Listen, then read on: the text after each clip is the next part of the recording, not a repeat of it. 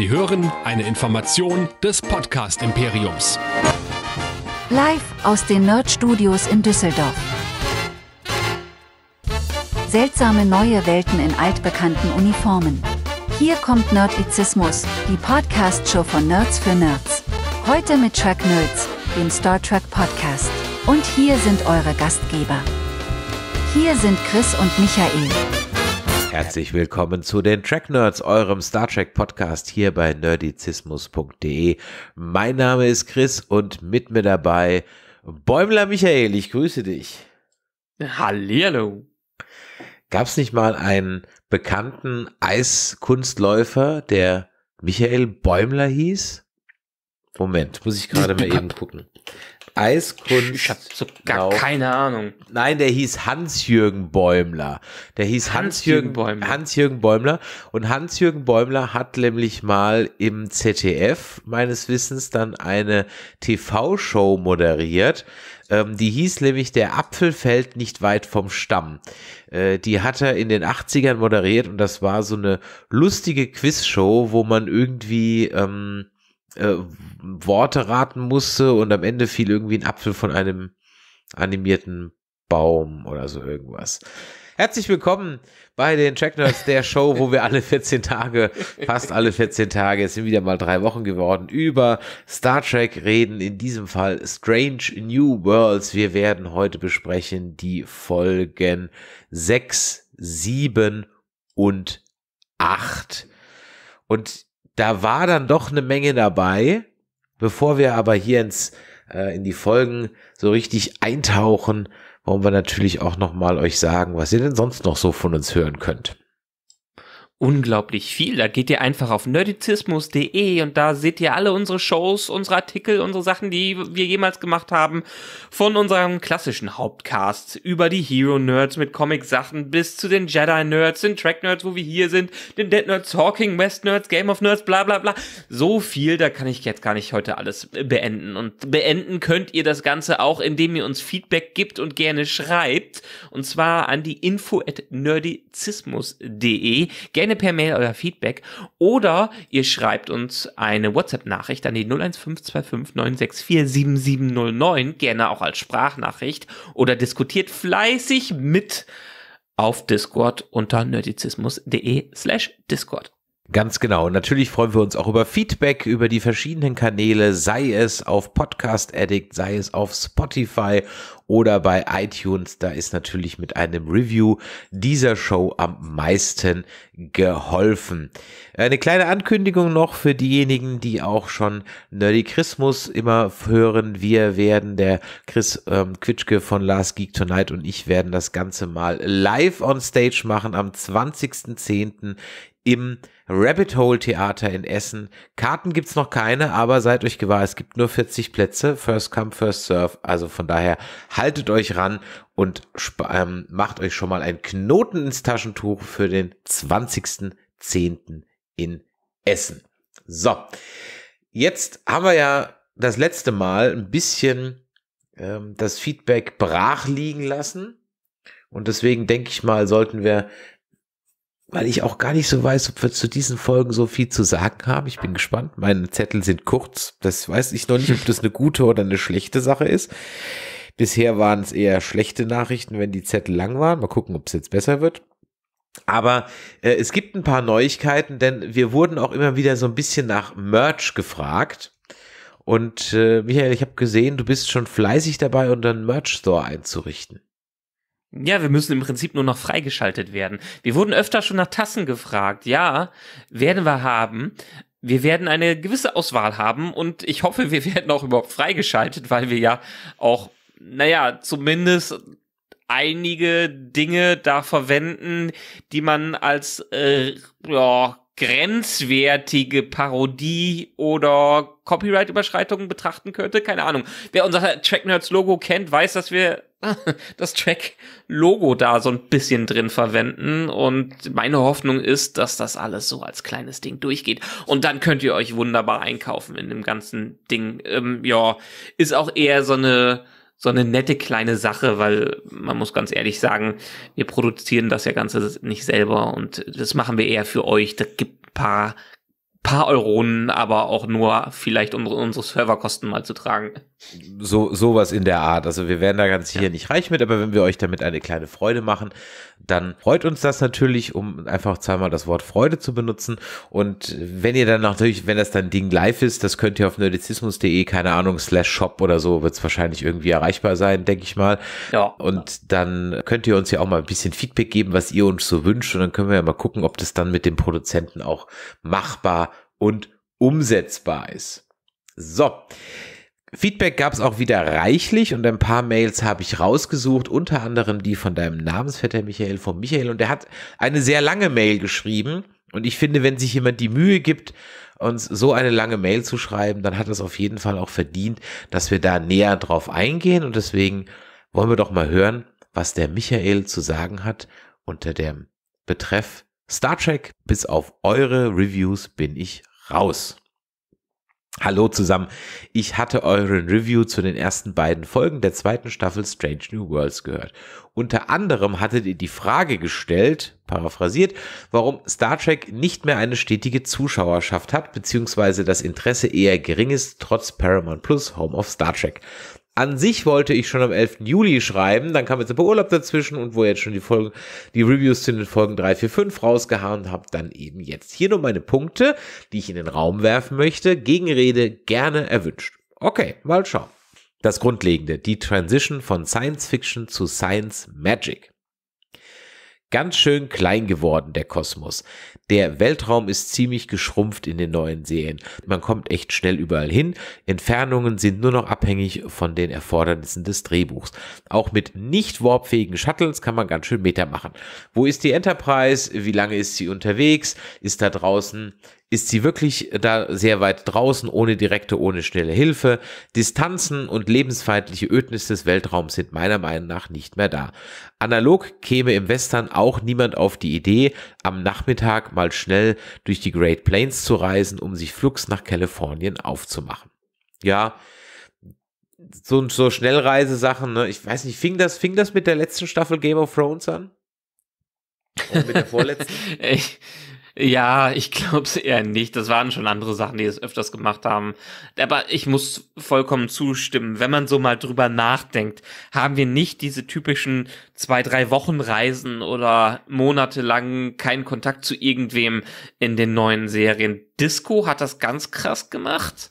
Ähm, und die anderen waren alle nicht so auf dieses, dieses Discovery-Ding, auf dieses Entdeckungsding eingestiegen. Ich weiß nicht, wie es bei Prodigy ist, weil Prodigy habe ich immer noch nicht nachgeschaut, aber Strange New Worlds würde ich mich doch manchmal freuen, wenn man auch das Gefühl hätte, dass die Neues erkunden. Ja, zumindest story-wise. Aber vielleicht kommen wir bei diesen drei Folgen dazu.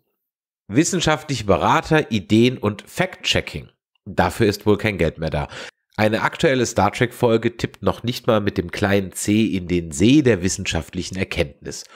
Eure Folge mit Metin Tolan, die ich übrigens an der Stelle sehr empfehlen kann, zu früheren Serien und der wissenschaftlichen Basis der darin geäußerten Sachverhalte sei hier nur als Referenz genannt. Ja, ganz genau. Es war, war ein wirklich launiges Interview. Den sollten wir eigentlich noch mal holen. Ich glaube, der hat, der hat noch mehr zu sagen als nur ein bisschen was zu Star Trek. Star Trek hatte diesen Fable für wissenschaftliche Genauigkeit. Das ist schlicht nicht mehr wichtig für die aktuellen Autoren und Autorinnen. Das ist im Kontext der Genreserie aus meiner Sicht essentieller Bestandteil des Wordbuildings. Man muss es als Zuschauer nicht bis ins Kleinste verstehen, aber ein korrekter Fakt hier oder da, ein naturwissenschaftlicher Denkanstoß kann der Immersion nicht schaden.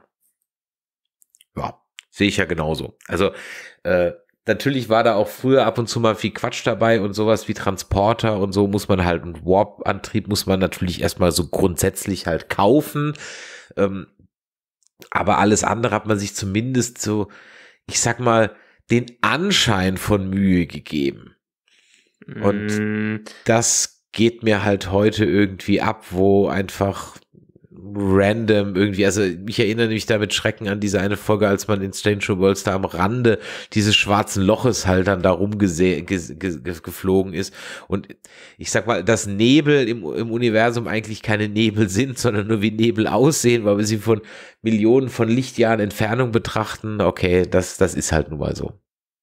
Ja, sagen wir mal so, ich glaube, das ist wirklich kein Fokus mehr von New Track, was das angeht. Aber ich bin ja letztes Mal so ein bisschen darauf eingegangen, was für ein Gefühl mir Strange New Worlds gibt. Und da bin ich mittlerweile noch stärker dabei, dass das noch äh, eine Serie über die Charaktere und über das Gefühl, die Atmosphäre so ein bisschen von Star Trek ist, ohne dass sie zu sehr in solche Details reingehen, die natürlich für viele Fans genau das ist, was man an Star Trek damals geliebt hat. Aber ja, das brauche ich nicht nochmal ganz ausführlich erklären. Das können sich die Leute in der alten Folge nochmal anhören. Ja, die von vor drei Wochen. Die fehlende Plausibilität der Umgebung. Star Trek war nicht Hardcore Science Fiction.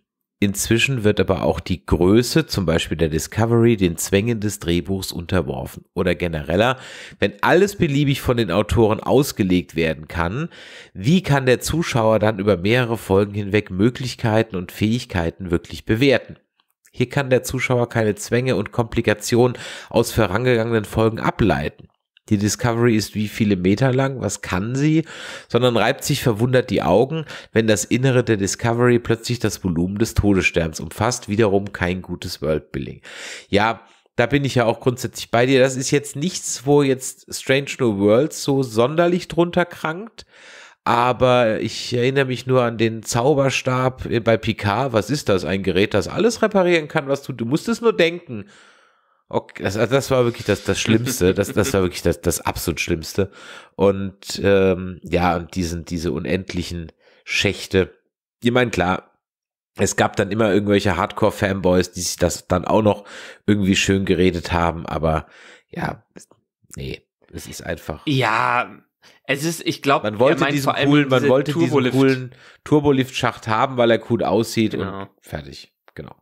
Ja, äh, heutzutage hat man ja wirklich nicht mehr das, dass man sich hinsetzen könnte und einen Blueprint von dem Ganzen niederschreiben kann, so wie es diverse Blueprints von der, ja, von der D gibt in der Richtung. Das würde bei einer Discovery und Co. aktuell gar nicht funktionieren. Es wäre mal interessant zu wissen, ob die vielleicht im Hintergrund irgendwas haben und eine kleine Architektur sich da aufgebaut haben oder ob die wirklich nur das Schiff von außen designt haben und das war's dann. Also das würde mich inter aber so viel Making-of haben wir heutzutage ja auch nicht mehr. Das ist ja auch schade. Diese typischen Releases, die man hatte auf Blu-ray und DVD, wo die ganzen Making-ofs dabei waren, die gibt's ja nicht mehr. Oder gibt es für Dis ich glaube für Discovery gibt's die sogar. Ich weiß nur nicht, ob da irgendwelche Making-ofs noch mit drauf sind. Also für Strange New Worlds, das gibt's ja auf Blu-ray für unglaubliche 32,99 Euro. Schon ein stolzer Preis für die Staffel, muss ich ganz ehrlich sagen. Und ähm, alle Episoden der ersten Staffel auf vier Discs. Mhm. Und Bonusmaterial, Featurette, Gagreel, entfallene Szenen, Audiokommentare.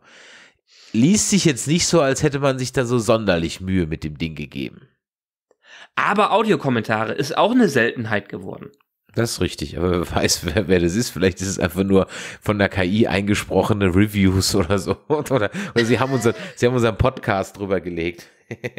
genau, es ist, es ist der offizielle Podcast. Oh, das, das, das, das wäre herrlich, wenn sie auf Discovery als Audiokommentar unsere Discovery-Besprechungen drüberlegen würden. das, das, das, Klappt das nicht eins schön. zu eins. Das, das wäre schön.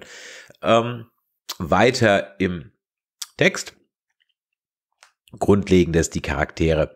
Show Don't Tell has left the building. Das wird bei euch ja ganz oft angesprochen. Ja, ich denke, da müssen wir nicht weiter drauf eingehen. Das ist absolut so.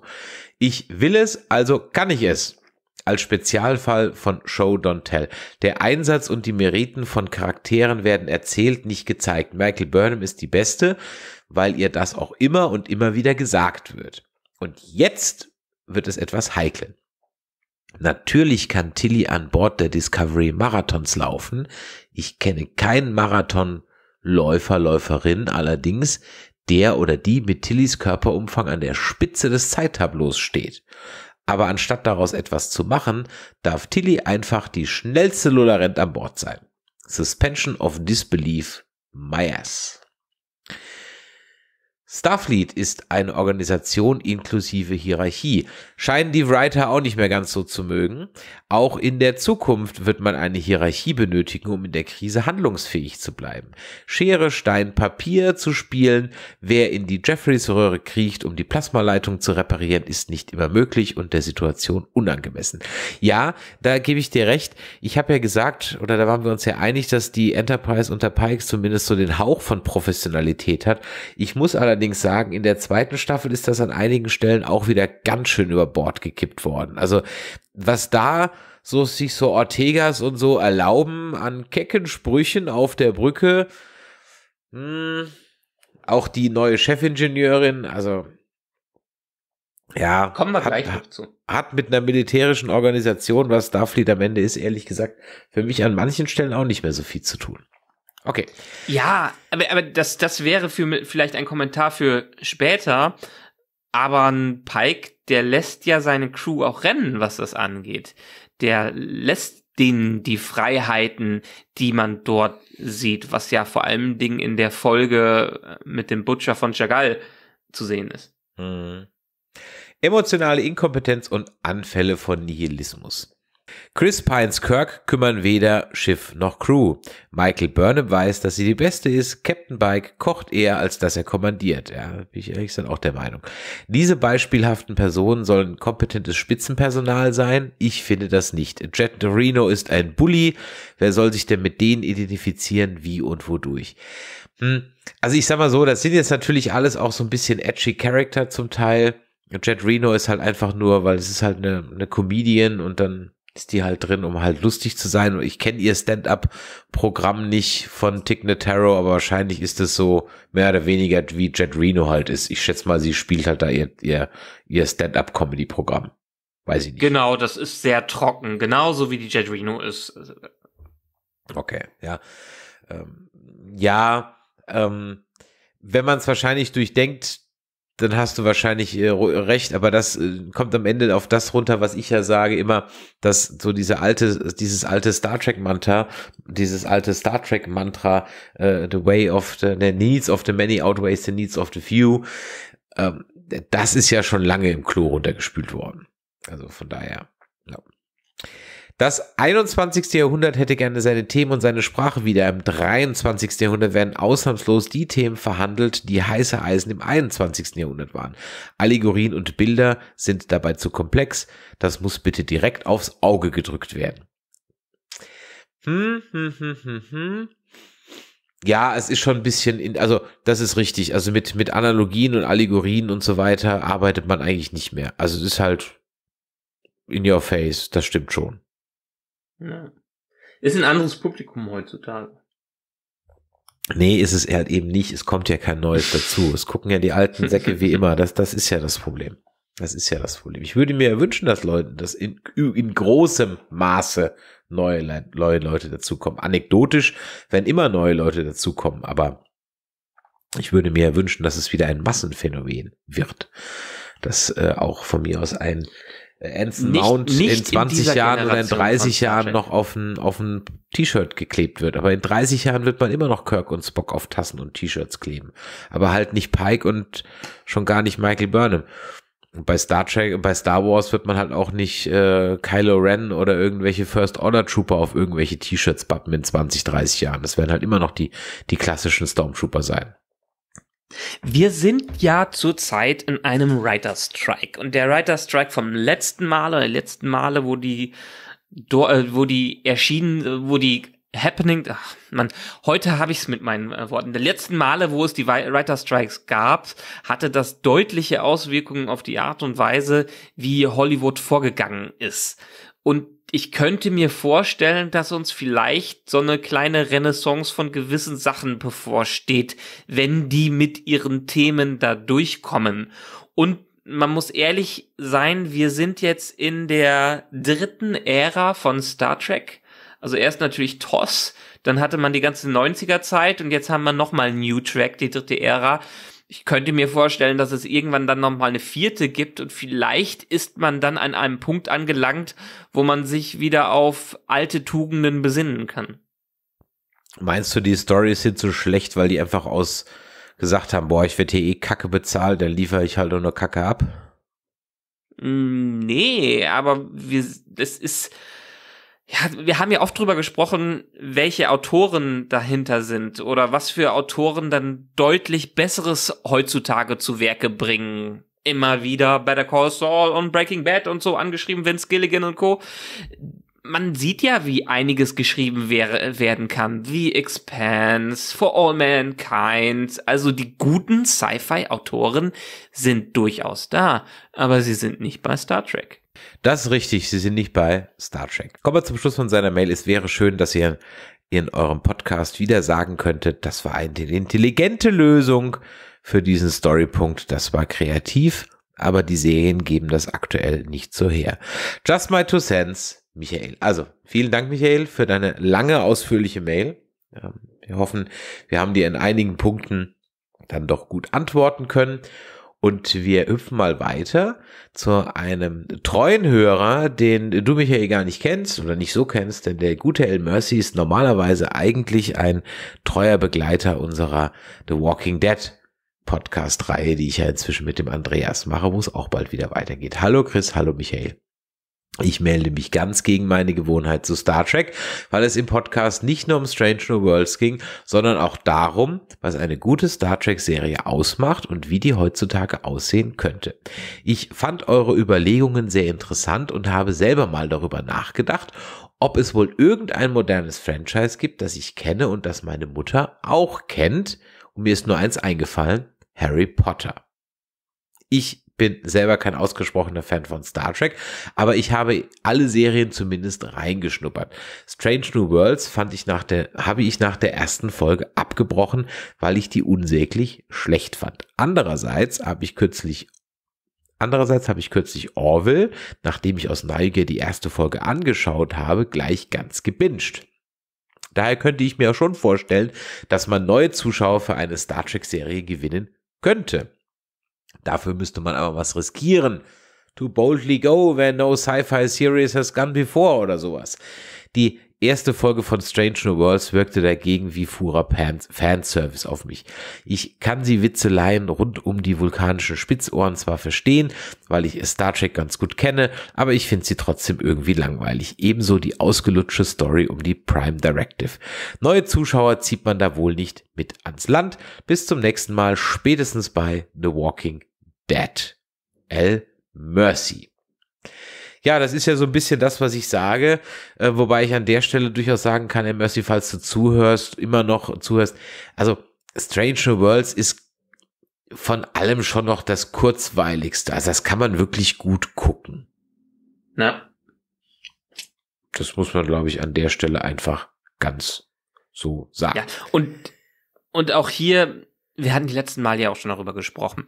Bei Strange New Worlds, wie du gerade gesagt hast, kann, kann man gut gucken und wir meckern auf deutlich höherem Niveau, als wir bei Picard und Co. gemeckert haben, was das angeht. Ich gucke diese Serie, ich betone es weiterhin, sehr, sehr gerne und ich finde besonders die zweite Staffel gerade richtig stark, was das angeht, auch wenn die vielleicht Chris nicht immer ganz reinzieht. Aber das ist durchaus eine Trek-Serie, wie ich sie mir in Realfilmen in Live-Action gewünscht habe. Es ist jetzt nicht der größte Anspruch und darüber haben wir auch immer wieder geredet, was das angeht. Durchaus könnte man viel, viel, viel, viel, viel, viel Besseres abliefern. Aber für das Niveau, was uns New Track seit 2017 gegeben hat, kann man mit Strange World meiner Meinung nach schon sehr zufrieden sein. Absolut. Dahingehend noch zum Abschluss die Mail vom Oliver, vom Olli.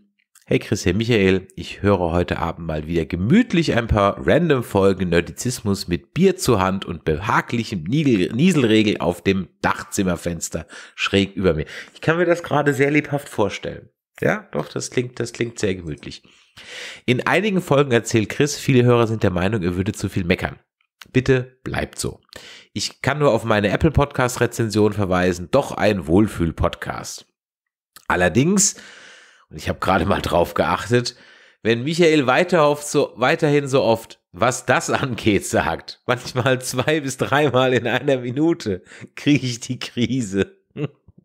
Andererseits zeichnet gerade sowas einen nicht echten Nerd aus, oder? Übrigens gibt's endlich Nerdizismus-Tassen. Hatten wir gerade eben schon gesprochen. So, ich höre jetzt euch weiter. Zum Abendschluss gibt's noch eine Folge. Die Schokofrösche, wie immer, die hört das Forever Nerd Girl ja auch gerne. Grins. Macht so weiter, lasst euch nicht verbiegen, liebe Grüße. Olli. Michael, man haut dir aber deine sprachlichen äh, Stilmittel doch ganz schön um die Ohren. Erst war es zumindestens. Mhm. Und jetzt ist es, was das angeht. Und während du gesprochen hast und ich die Mail schon vorgelesen habe, muss ich dir leider sagen, das hast du wirklich dreimal gesagt. Das Schlimme ist, ich, mir Was fällt habe das, ich, was hab ich dreimal gesagt? was das angeht. Was habe ich das heute schon gesagt? Ja, gerade vorher, zweimal. Habe ich das in der Tat gesagt? Ja, das, das ist, Oh mir ist das auch überhaupt nicht aufgefallen, genauso wie mir dann zumindest überhaupt nicht aufgefallen ist. Ich sag ja, ihr könnt ja auch bei mir, ne, Dinge sagen. Gut, mein Anglizismus wird mir immer vorgeworfen. Ähm, aber das ist Deal with it. ähm, also, mir ist es noch nie aufgefallen. Äh, mir ist auch der, der sprachliche Lapsus mit zumindestens nie aufgefallen, weil da bin ich einfach kein Grammar-Nazi, weißt du? Ja, äh, ich meine, ich meine, ich versuche schon mich dann manchmal so ein bisschen zu verbiegen, was das angeht und nicht meine, ja, regelmäßigen Wörter rauszuhauen und dann hakelt's dann durchaus manchmal etwas, wenn ich durchaus sage und zumindest sage und was das angeht, sage. Ich versuche es zu vermeiden, aber wie viele vielleicht von sich selber wissen, ist es so, ist so etwas schwer rauszubekommen. Gerade auch wenn man drüber nachdenkt, wie man beispielsweise oft gerne äh sagt. Ich meine, wir haben uns das äh schon gut genug abgewöhnt. allerdings. Aber ja. wenn ich drüber nachdenke, dass ein super Super Beispiel aus meiner Abi-Zeit. Wir waren auf Abi-Fahrt. Wir hatten einen Schüler unter uns, den Achu. Der hat ganz viel Äs von sich gegeben und musste dann auf der Studienfahrt einen Vortrag halten. Hat dann in jedem zweiten Wort wirklich das Ä reingehauen. Und unser Lehrer, unser Englischlehrer, hat dann irgendwann mal zwischendurch gesagt, ey Achu, hör doch mal mit dem Ä auf. Und das erste, was ihm von ihm kommt, äh, ja, okay so ist es. Es ist schwer rauszukriegen, genauso wie im Englischen gerne Leute like this und like that und like those äh, äh, drin sitzen haben. Ich versuche mich zu bessern. Es ist aber ein Prozess, muss ich sagen. Ja, also was das angeht, muss ich sagen, ist mir das ehrlich gesagt jetzt nicht so großartig aufgefallen. Äh, mir ist es, glaube ich, im Grunde genommen, ich glaube, in irgendeiner Folge, ist schon ewig her, da hat jemand mal gesagt, ich würde so oft im Grunde genommen sagen. Ich, ich glaube, sowas war irgendwie, ja. Gut, wir, wir werden mal gucken, darauf achten, dass wir in Zukunft ein bisschen mehr äh, sprachliche Abwechslung in das Ganze reinbringen. Aber was das angeht, würde ich mir ehrlich gesagt jetzt keine allzu großen Hoffnungen machen. Ja, ich glaube, ein Punkt bei mir ist es, wenn diese Wiederholungen rauskommen, dann bin ich in dem Moment am überlegen, was ich sagen möchte. Dann habe ich vielleicht noch nicht komplett den Plan da, wie dieser Satz endet, den ich gerade angefangen Mhm. habe. Und deshalb haue ich die Füllwörter rein. Das, das ist nicht nur eine Vermutung, das ist so. Dann sind die Sätze zu lang. Äh, Ja. Ich habe ja mal gesagt, dass wir vielleicht doch mal uns so ein ähm, Sprechertraining leisten sollten, weil meine Mhm. Sätze sind auch manchmal viel zu lang. Und dann denke ich mir, vielleicht machen wir das mal. Das können wir uns aber natürlich nur leisten, wenn ihr ganz fleißig Nerdizismus-Taschen und Nerdizismus-T-Shirt kauft, denn sonst ist es viel, viel, viel zu teuer und neben den Serverkosten und der Villa in Saint-Tropez und der Yacht und ähm, äh, ganz ehrlich. Und zwei also, Kindern. und zwei Kindern, ja. Und so das, was ja viel mehr kostet als meine Villa in St. Tropez, ja. Ähm, also, das, das können wir, also da müsst ihr ja wirklich jetzt, da muss mindestens jeder Hörer jetzt hier drei Tassen kaufen. Und natürlich müsst ihr zur Live-Show am 20.10. kommen, zu Nerdy Christmas Live. So, ich würde mal sagen. Ich, ich sag mal, wir Ja. hauen's wirklich raus unter nerdizismus.de slash shop. Da werdet ihr demnächst einfach unseren Shop drin finden. Fantastisch. Und wenn ihr natürlich überall uns folgt, dann kriegt ihr das auch mit. Und wir haben genau die halbe Stunde Marke geknackt, wenn wir dann in der Tat auch mal anfangen, über die Folgen 6, 7 und 8 reden. Wir beginnen mit Lost in Translation mit Bill Murray und Scarlett Johansson, was übrigens ein Film ist, der ziemlich, ähm, hm, also so ein Jim Jarmusch-Humor muss man mögen. Magst du den? Hm, So Broken Teils. Flowers und sowas. Ja, man muss in der Stimmung dafür sein, sag ich mal so. Lost in Translation ist ein Film, den ich, den habe ich damals wirklich ein einziges Mal gesehen und danach nie wieder. Ich fand ihn gut. Und ich glaube, er ist als guter Kopf in meinem, äh, als guter Kopf in meinem Film geblieben, als guter Film in meinem Kopf geblieben, was das angeht. Aber immer wieder, wenn ich dann alte Screenshots und Ausschnitte davon sehe, muss ich sagen, der hat auch so langsam sein Alter erreicht. Es war übrigens äh, Sophia Coppola, die Regie geführt hat, nicht Jim Jarmusch. Jim Jarmusch Ja. war bei, ähm, bei Broken Flowers. Also, das Da ist hatte so, äh, Bill Murray noch dunkle Haare. Das ist so ein Film, Lost in Translation, den ich beim ersten Mal, genauso wie Broken Flowers, die sind für mich so die gleiche Art von stiller, eine Komödie ist es ja nicht irgendwie, einfach so. ein- Nein. Ein bisschen Sadcom in der Richtung. Ja, genau, richtig. Und die strahlen für mich so diese gleichen Vibes irgendwie aus. Und obwohl ich beide Filme jetzt nicht so mega dolle finde, gucke ich sie alle paar Jahre trotzdem eigentlich ganz gerne. Auch so einen eigentlich total langweiligen wie Broken Flowers. Mm, Ja, ich glaube, Broken Flowers, den habe ich auch ein einziges Mal gesehen. Ich könnte mir eher vorstellen, Lost in Translation nochmal zu, zu gucken. Aber das sind diese, diese sehr melancholischen Filme, diese leer, sehr, ich glaube, in depress depressiven Phasen sollte man die nicht gucken, weil die können einen durchaus noch runterziehen. Da müsste ich eigentlich wahrscheinlich noch die Tiefseetaucher von Wes Anderson mit Bill Murray auch noch gucken. Dann habe ich wahrscheinlich so diese, diese komische Tragik-Komödien irgendwie komplett. Mm. Naja, wir Gut. wollen aber natürlich über Uhuras Probleme reden. Und ich habe ja gesagt, mein Zettel ist gar nicht so lang. Ähm, diese Folge hat mich massiv erinnert an Augen in der Dunkelheit. Kennst du diese TNG-Episode noch? Augen Nee, vom Titel her vielleicht nicht, aber äh, sag mir gerne nochmal, worum wo, es da wo, ging. Wo Troy, diese, wo die ganze Crew nicht schlafen kann, also nicht träumen kann. Mhm. Und die, oder Mhm, ja, kann okay. die Crew nicht schlafen oder kann die Crew nicht träumen? Ich weiß nicht mehr genau. Und dann fangen sie alle an zu halluzinieren. Und am Ende waren es dann so telepathische Wesen, die versuchten Kontakt aufzunehmen und nur Troy kann ähm, die in ihren Träumen das dann sehen und dann schwebt sie da durch so Nebel und sieht dann so zwei Scheinwerferaugen in der Ferne. Mm. Kann sie nicht mehr dran erinnern? Mm. Ja, doch.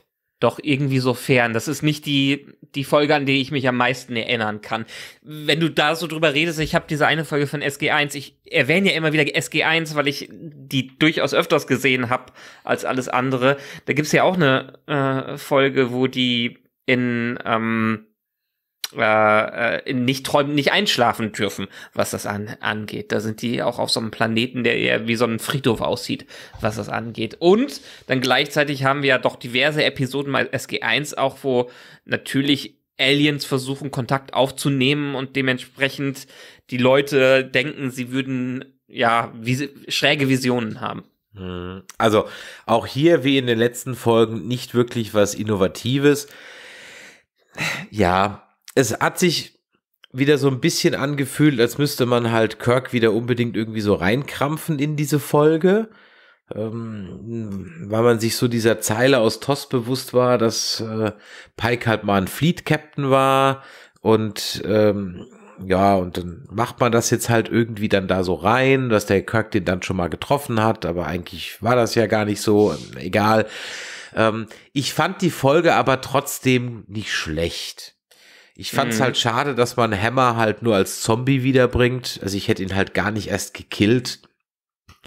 Nix gegen die neue, schrullige alte Maschinenraum, aber der Hammer war einfach, ich mochte den. ja. Ja, war, war ein schöner Charakter, aber hatte man wohl andere Pläne. Ich finde die, die ähm, Pelia finde ich super. Ich mag sie. Ist aber auch hier wieder nicht wirklich ein Alien, was als Alien auftritt. Ja, ist halt eine Geinen. Ist Also halt, optisch. es ist halt eine Geinen. Ja, also.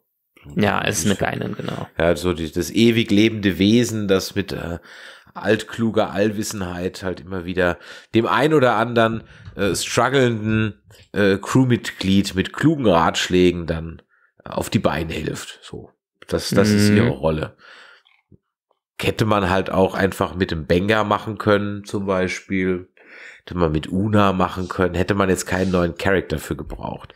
Und so ein Grumpy im Maschinenraum fand ich eigentlich immer ganz, ganz nett. Vor allem, weil er halt auch noch diese äh, Behinderung hatte, die, diese Sehbehinderung, was ihn halt auch noch mal irgendwie so besonders gemacht hat. Ich fand das einfach cool. Ja, war so ein bisschen, stimmt. Und wenn man so jetzt ihm noch im Klingonenkrieg so. gezeigt hätte, das würde ja noch mehr passen. Ja, eben, genau. Also da hätte ich wirklich, also mehr Hammer Time, aber leider ja. nicht. Wie, wie fandst du denn Paul Wesleys Kirk in der realen Kirk-Timeline? Ja, es ist halt für mich immer noch kein Kirk. Also nicht mal ein Jota, ja.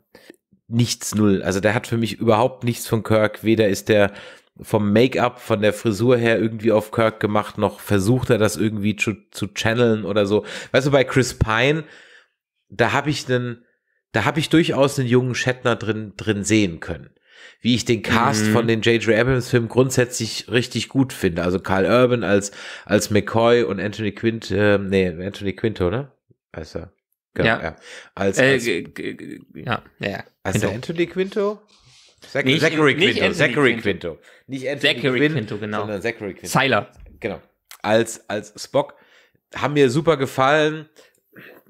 Die, so ist halt Dana als Uhura ging so, aber um die geht's ja am Rande, ehrlich. Und, und, und, und ich sag mal so, hier, ähm, wie heißt er, der, der Engländer, der Scotty. Ach so, ja, äh, Shaun of genau. the Dead. Ja, Shaun of the Dead, genau. weißt du, wie ich meine? Ähm, äh, der war natürlich überhaupt nicht hype gecastet. Trotzdem war es eine likable, Inter also war es einfach eine nette Interpretation von Scotty. So. Simon Peck. Simon so, Peck, Dankeschön. Ja, ja. Äh, hat natürlich optisch überhaupt nichts mit Scotty am mit mit äh, James Doohan am Hut gehabt. Also, also auch da gab es auch 0,0 Wiedererkennungswert, außer dass er sich halt so ein Pseudo-Schotten-Akzent gegeben hat. Aber das war's dann auch schon. Aber die anderen drei fand ich halt wirklich gut. Und von daher muss ich sagen, da erkenne ich hier in diesem Kirk also nicht mal ansatzweise irgendwas davon. Auch nicht, wo der mal hin will und hin soll und so. Also, nee, null. Und da bleibe ich bei meiner Meinung aus den letzten Episoden. Hätten ihr denn einfach hier Lieutenant Müller genannt, wäre es, es würde einfach nichts ändern. Es würde nichts mhm. ändern. Und man könnte ja trotzdem den, den Bruder Kirk an Bord haben. Ja, also, dass die dann einmal an der Bar sitzen und über ihren Vater sich beschweren, weil das in amerikanischen Serien halt grundsätzlich einmal der Fall sein muss, dass es diesen Vater-Sohn-Konflikt gibt. Okay, so be it, ja, aber es war halt dann auch einfach nur ein Satz und mehr war es halt am Ende auch nicht. Mhm. Für, ich fand schon, dass er den ähm, Shatner ein wenig gechannelt hat. Natürlich nicht in der Natürlichkeit, ähm, wie so ein Chris Pine das hinbekommen hat, aber der ist, könnte auch so eins zu eins eine DNA-Kopie, ein Sohn von Shatner sein, so ungefähr, ungefähr, was das angeht. Also das Casting, wie du schon gesagt hast, war spot on, was das anging.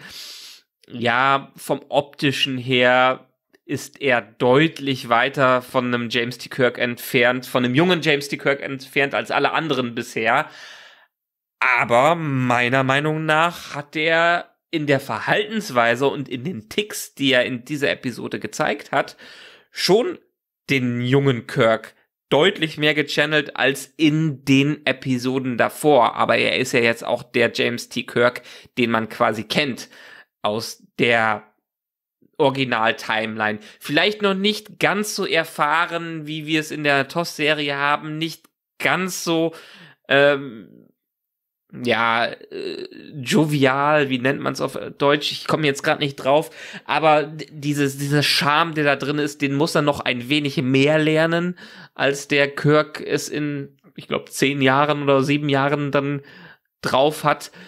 Aber von der Mimik und von der Verhaltensweise habe ich mal drauf geachtet, fand ich es schon sehr authentisch. Okay, hast du mal ein Beispiel? Mir fällt da wirklich gerade keins ein. Jetzt nagel ich dich diesen, fest. Genau, die, gerade dieses Gesicht hochziehen und den, den verkrampften Kiefer, wie er da macht, oder ja. auch die Haltung, die er drauf hat, finde ich, äh, finde ich, hat man den Shatner gemerkt, auch wenn es nicht Shatner direkt war. Hm. Nee. Auch die Sprache, auch die Schra Sprache, diese mehr abgehackte Sprache, die er mit reingebracht hat. Okay, da muss ich mal auf seine Sprechweise achten. Das habe ich jetzt ehrlich gesagt noch nicht getan. Ähm, ja, Punkt. Also ich, ich nochmal, der macht das ja, ich mag ja den, ganz ehrlich, würde der nicht Kirk heißen, fände ich den wahrscheinlich sogar mit den besten Charakter, der da rumhüpft, weil ich den Schauspieler sehr mhm. sympathisch finde und ich finde, der macht das auch, ähm, ja, er macht das einfach sehr, sehr sympathisch. Da steht einfach für mich nur nicht Kirk auf dem, auf dem Etikett drauf. Also, also halt nicht mal mhm. ansatzweise. Und äh, dadurch, dass ich halt, dann sind wir wieder bei dieser Diskussion, äh, inwieweit kann ich halt wie im Theater was frei interpretieren, ja, wo ich halt dann, was weiß ich, AIDA in die Nazi-Zeit lege oder mal ins äh, Mittelalter oder mal in die Zukunft lege, weil ich, weil niemand sozusagen von den Protagonisten, die da in der Oper auftreten, irgendwie so ein festgefügtes Bild hat. Also war beim Film halt irgendwie anders. Also entweder ich mach's halt mhm. James Bond mäßig und jeder ist halt grundlegend anders. Dann habe ich halt so den Comedy Bond und den ernsten Bond und den roughen Bond und keine Ahnung was. Dann, dann mache ich es irgendwie so. Aber wenn ich hier halt weiterhin äh, alles aus einem Guss haben will und sozusagen auch so tun möchte von den Machern her, als gehört das alles groß zusammen, dann finde ich, sollte man sich halt an der Stelle einfach schon so ein bisschen mehr Mühe geben. Und nochmal, es ist halt einfach keine Not da gewesen, den Kirk-Charakter reinzubringen. Man hätte wirklich mit seinem Bruder arbeiten können. Das ist am Ende des Tages ein unbeschriebenes Blatt im wahrsten Sinne des Wortes. Ja. Mit dem hätte man alles machen können. Und äh, dann hätte ich ehrlich gesagt sogar lieber gemocht, wenn er mal über äh, Videotelefonie mit einem CGI-Shatner gesprochen hätte, ganz ehrlich. ich kann es verstehen, warum sie ihn reinbringen und ich glaube, ich kann so langsam auch den Twist sehen, den sie da haben, dass sie wirklich jedes Crewmitglied mindestens äh, eine Episode mit Kirk zusammenschmeißen. Also wir mhm. hatten jetzt Pike, wir hatten Laan, jetzt hatten wir Uhura das erste Treffen. Wir werden definitiv noch irgendeine Spock-Folge mit ihm ja, bekommen. Auf jeden Kann Fall. ich mir gut vorstellen. Sie singen Und wahrscheinlich ja, also das Duett in der nächsten Folge. Ja. Sie werden wahrscheinlich die, Ar die, Arie der, der Folge singen oder so. Aber kommt der dieser Staffel nochmal vor? Das ist die große Frage. Das weiß ich nicht. Also wir werden ja diese Musical-Episode bekommen. Ich weiß nur nicht, ob wir noch einen Kirk zu sehen bekommen. Und dann kann man sich ja noch die Frage stellen, wie viel sie das versuchen, in den Canon reinzubiegen. Man hat ja diesen Flottencaptain, diese Erwähnung des Flottencaptains hat man ja in der Folge drin, die mhm. Pike als Ehrentitel bekommen hat. Also das einzige Treffen, was er laut Originalserie mit Kirk direkt hatte. Aber da kann man natürlich drum drum schreiben, dass er dann in den Folgen den Kirk einfach nicht trifft. Ja, irgendwie sowas. Ich meine, immerhin haben sie sich mal daran erinnert, dass das ist ja schon mal was. Also von daher, ja. diese Folge war ähm, eine Standard Sci-Fi-Folge, wie wir sie in vielen Serien schon gesehen hat, wie man sie in Star Trek schon gesehen hat, die sich leider in der Stelle auch einfach nahtlos in das Mittelmaß einreiht, das ich bisher von dieser Staffel so erlebt habe, wo einfach die Innovation fehlt, wo es einfach nur die x-te Variante von irgendwas ist. Ganz anders verhält es sich natürlich dann mit der Folge 7, dem lang erwarteten Crossover Those Old Scientists, beziehungsweise auf Deutsch tierisch olle Sternreisende. okay. Ja. Und ich bin ehrlich gesagt nicht drauf gekommen auf die Abkürzung, bevor es mir nicht gesagt wurde in der Folge. okay, ja, gut. Okay, es ist, es ist so hidden in the obvious, weißt du? Ja, ja, ja, ja. Soweit ich gelesen habe, haben sie ja sogar den Spruch in, in Lower Decks an irgendeiner Stelle schon mal gebracht, aber Lower Decks hatte ich bisher auch nur einmal gesehen. Und das ist in der Tat eine Serie, die ich gerne nochmal äh, sehen werde und sehen möchte. Aber ja, für mich Highlight-Folge ich meine, Crossover-Folgen in vielen Serien, wenn es Franchises sind, sind meistens gut gemacht. Also, ich kann mich an vor allen Dingen auch wieder jetzt ein Stargate Crossover erinnern, was ich toll fand. wir haben das DS9 Crossover, wo die in die alten Szenen reingesetzt worden äh, sind. Wir hatten diverse, zumindest äh, Gastauftritte von, von verschiedenen Serien, äh, äh, von verschiedenen Serien in einer Staffel, was das angeht, aber dieses mega Crossover wie hier hatten wir eigentlich in der Form noch nicht, oder? Also bei Star Trek gab es natürlich immer mal so kleinere. Es gab da mal die Enterprise, die mal bei Deep Space Nine angedockt hat oder die Voyager, naja. die von Deep Space Nine losgeflogen ist und so ein Kram. Aber in dieser Art und Weise wäre mir das jetzt ehrlich gesagt völlig neu. Außer, wie gesagt, mhm. immer nur so kleine Sachen, halt das Ende von Enterprise und so ein Kram, ne? Aber ja, ja. das in der Form und auch in dieser Konsequenz. Und es hat für mich erstaunlich gut funktioniert. Ich hätte es nicht gedacht. Es war wirklich auch die real, waren das dann die Stimmen ja. von Bäumler und Co. Okay, das ist ja, das, das heißt, die haben also praktisch auch die Figuren den Sprechern ein bisschen angeglichen oder ist das Zufall? Nein, nein, haben die schon so gemacht, ne? So ein bisschen. Ja, das, ja, das passiert häufig in ähm, Animationsserien, dass man so ein bisschen das Likeness, äh, die Anmutung von den Sprechern dahinter auch wiederfindet in dem Ganzen. Und ja, wir haben hier halt Tony Newsom und Jack Quaid. Jack Quaid werden die meisten jetzt aus ähm, The Boys kennen, vor allem Ding, die dann auch ihre Rollen wie von Bäumler und äh, Mariner in der in der Folge übernehmen und es, es es passt einfach so schön und dadurch, dass die Serien, die beiden Serien ja auch tonal nicht so weit voneinander weg sind, also sie haben dieses leichte ja. und oft auch mal so Comedy-Elemente drin, hat sich das sehr gut verheiratet. Ja, absolut. Also ich hatte wirklich meinen Spaß mit der Folge und ich war durchaus skeptisch gewesen. Und dass man es dann auch so konsequent geht mit dem Intro und dann sogar in der Intro dieses komische Weltraummonster an der, an der Warp-Gondel dann dran. Also großartig, großartig. Ja. Die könnten gerne öfters mit dem Intro spielen. Das ist ja so eine Sache, die Star Trek auch nie gemacht hat. Außer vielleicht kleine Abwandlungen in Intros. Die einzige Serie, die wirklich krasser da hingegangen ist, war sogar Enterprise, die dann in den verschiedenen Staffeln deutlich andere Szenen nochmal drin hatten und auch nochmal einen anderen Track, was das, was das anging. Aber diese Spielerei hatten wir bisher noch nicht, oder? Ich glaube, bei DS9 hat man mal die Musik ein bisschen geändert. Das war's. Ja. Ansonsten fällt ja. mir jetzt auch ehrlich gesagt nichts großartig ein. Ja, ähm, und das hält so eine Serie ja auch nochmal interessant, wenn man damit spielt und weil man das als Element reinnimmt. Diese typische Simpsons Couch Gag brauchen wir in äh, Star Trek. Ja, wollen es jetzt auch nicht übertreiben. Aber ja. meine Regie hat ja in der Folge Jonathan Frakes geführt, das fand ich ja schon mal sehr angenehm. Da weiß man eigentlich in der Regel immer, da kommt zumindest kein völliger Schrott raus.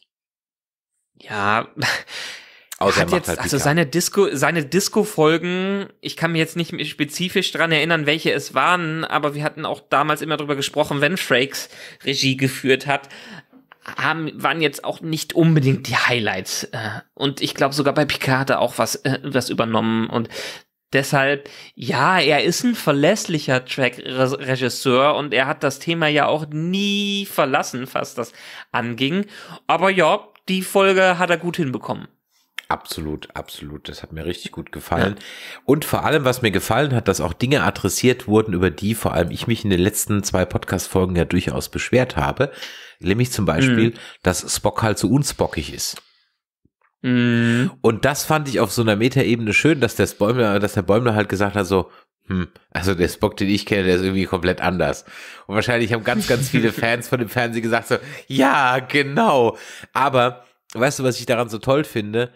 Dass man sich dessen bewusst ist und das gibt mir jetzt die Ruhe und die Sorgenfreiheit, dass sie da wahrscheinlich noch einen Plan haben und wissen, warum sie, wie sie am Ende beim Spock rauskommen, den wir kennen. Na, also das, was diese Folge auf jeden Fall hatte, was die meisten Crossover-Episoden in solchen Serien hat, dass es am Ende zurück zum Status quo geht. Also es ist ein netter kleiner Einschub, man hat ein paar nette Inside-Gags, was das angeht, aber letztendlich hilft die Folge nur ein bisschen den Status quo zu festigen. Also welche Probleme die Charaktere, mit welchen Problemen die Charakteren im aktuellen zu kämpfen haben. Denen wird noch mal ein bisschen der Spiegel vorgehalten, was das angeht und sie verstehen es noch ein bisschen mehr. Hey, Spock ist gerade nicht spockig. Chapel ist unglücklich äh, verliebt. Pike muss mit seinen mit seiner Zukunft kämpfen. Ähm, Number One hat immer noch die Probleme, dass sie sich nicht aufgenommen fühlt in der Föderation. Also alle haben immer wieder äh, äh noch mal ihre aktuellen Problematiken erkannt, um damit in den nächsten Fortschritt zu gehen. Ja, wobei ich da schon sagen muss, wir haben ja nur noch zwei Folgen. Eine davon ist die Musical-Folge. Und dann kommt eine Folge, die heißt Hegemonie. Ähm, ja, der Teaser der ersten Folge mit den Gorn ist mal dezent komplett über Bord gefallen. Also von denen wurde jetzt mhm. nie wieder, die wurden nicht mehr, mehr erwähnt oder einmal, glaube ich, noch mal kurz erwähnt und das war's. Ähm, bei 15, 16, 17 Folgen würde ich mir halt da keine Sorgen machen. Es scheint mir irgendwie so, als hätte man da so einen Gorn-Plan gehabt, aber dann unterwegs sich gedacht, ah nee, das ist jetzt blöd. Und ähm, das ist okay, das kannst du so machen. Ähm, hätte man diesen Gorn-Teaser einfach nicht reingeworfen, wäre es für mich okay. Ähm, dann habe ich halt nur Einzelepisoden, was okay ist, das haben wir uns ja auch immer ein bisschen gewünscht. Ähm, mhm. Aber dann ist es für mich ein bisschen inkonsequent. Also entweder oder, so, oder zumindest diese Gorn-Thematik einfach mal öfter aufgreifen zumindest mal so im Hintergrund ja. lassen, ja. Ich äh, und dann kann ich auch mit so einer mit so einer Comedy Folge wie der sehr gut leben. Ich fand sogar, dass sie sich sehr also auf ihre Art und Weise war es hat es den ähm, Strange New äh, World nicht, wie soll ich sagen, oder andersrum. Der Lower Decks Humor hat sich gut damit als kompatibel erwiesen. Mhm. Ähm, man hat die Stranger Worlds Charakter trotzdem ernst genommen, ohne sie zu veräppeln. Und ja. dass der Bäumler dann so ein Fanboy ist und da so rumläuft, das wäre wahrscheinlich sogar wirklich so. Das haben wir ja in einigen Star Trek Serien und Folgen schon gehabt. Erinner dich an die Scotty Folge. Richtig, stimmt, genau, wo der wo Jordi war da so ein Fanboy, stimmt. Ja, ja. Ja, und ich meine, es wird immer mal wieder erwähnt in Nebensätzen von, also ohne dass sie selber auftreten, ist, glaube ich, Archer fast mittlerweile in jeder Serie einmal erwähnt worden. Und dann, eigentlich müsste Scott Bakula noch mal einen Erdenauftritt in irgendeiner der, der Serien da bekommen. Das ist auch sehr schön, wo sie dann über die NX-1 gesprochen haben und diese sogar inkludiert haben in das, in den Plot, was das, was das anging. Ja, aber ich sehe, ich weiß, was du meinst und dadurch, dass wir einfach in zwischen den Serien so große Zeitsprünge haben, passt das ja auch gut. Die Crews und die Crewmitglieder werden einfach zu Legenden durch das, was sie in ihren eigenen, in ihrer eigenen Serie alles durchleben müssen. Ja, ganz genau. Von daher hat mir das wirklich alles sehr, sehr gut gefallen. Ich hatte meinen Spaß damit. Ich habe wirklich mit Freuden, wie gesagt, aufgenommen, dass man sich der Thematik rund um Spock wohl bewusst zu sein scheint. Da setze ich jetzt durchaus mal Hoffnung rein.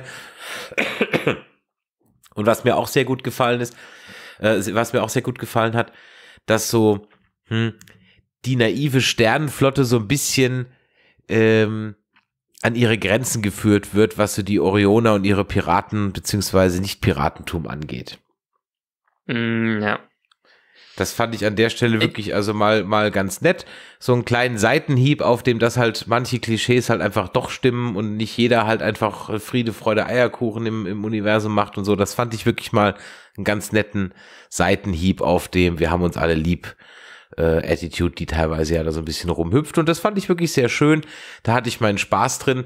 Trotzdem ist es eine Episode, hm, die wird außer dem Fakt, dass es halt die Crossover-Episode sein wird und so wird sie dann auch genannt werden, also der Film mit den Wahlen, ja, äh, mhm. und das mhm. ist halt die Crossover-Episode, hat sie jetzt halt sonst nichts dazu beigetragen. Sie ist halt einfach da.